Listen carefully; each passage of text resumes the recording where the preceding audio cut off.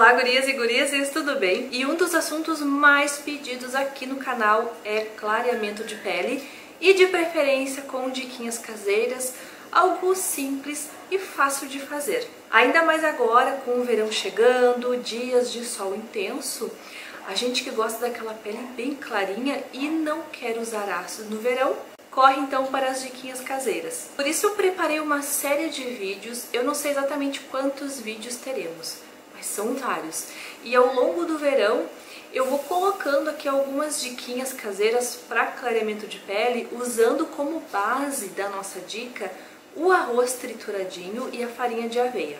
E ao longo dos vídeos a gente vai mudando um item, um outro, acrescentando aqui e ali, modificando a nossa base. E para começar a nossa série de vídeos, a gente vai triturar o arroz para fazer uma farinha de arroz mesmo.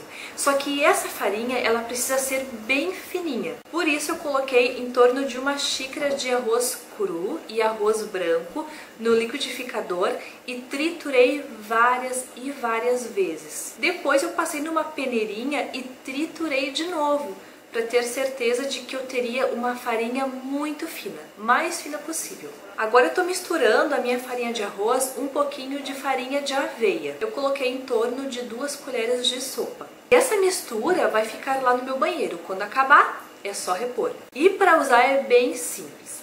Dia sim e dia não, ou dia sim e dois não. Na hora de lavar o rosto à noite, Basta misturar na mão mesmo um pouquinho da tua farinha e um pouquinho do sabonete e lavar o rosto normalmente. Vai acontecer ali uma leve esfoliação, algo muito superficial, mas a intenção aqui seria lavar a pele ativando o clareamento usando as farinhas. E também pode usar durante o banho, ou seja, tu tá lavando ali algumas partes do corpo e que tu deseja um clareamento.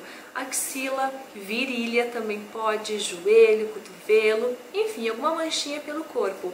Lava normalmente com sabonete e dá uma esfolhadinha com a farinha. E para quem usa argila como máscara facial aí durante a semana, pode usar um pouquinho da farinha também. Basta apenas misturar em torno de duas colheres de café ali na tua argila aplicar na pele normalmente. Para quem gosta de aplicar máscara usando a clara, tu vai pegar a clara normalmente e adicionar também em torno de duas colheres de café da tua farinha e aplicar no rosto. Essa máscara vai favorecer a retração dos poros, o clareamento também e dar aquele efeito de firmeza, de pele mais lisa. Ela é muito boa para quem tem pele madura. Muito obrigada pela companhia, eu espero muito que vocês tenham gostado. Um beijo para vocês e até o próximo vídeo.